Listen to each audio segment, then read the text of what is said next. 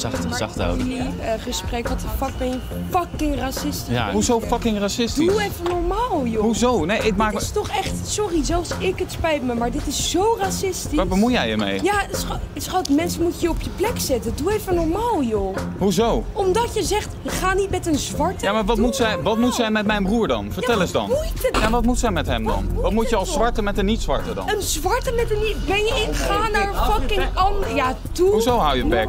Een Waar bemoei jij je mee? Waar- Een ik bemoei me mee. Waar bemoei jij je mee dan, Zwarte- vriend? Deze dingen niet hier op het Een terras zeggen. zwarte met een niet zwarte Ben je wel helemaal goed bij je zeg. hoofd, man? Ja, zeker, zeker ja. Hij is niet goed bij zijn Je hoofd. gaat dit soort dingen Kom, kom, komt hij met zijn zwarte Zeg het aanzetten? tegen mij dan. Ja, ik zeg het toch tegen jou? Ja, je gaat dit soort dingen niet meer zeggen. Ja, zeker wel. van het terras Zeker wel. Ik hou je mond dicht. Tril, ik tril. Ach, later. Je gaat van het terras af. nu. Zeker niet. Ja, je gaat Zij moet lekker van het terras af. van Zet je over Zij je moet lekker van het fucking terras af. Zet je over Oh, je ja. ego heen. Doe fucking Mafkees. normaal. Ja, mafkees. Je gaat nu van het terras flikker.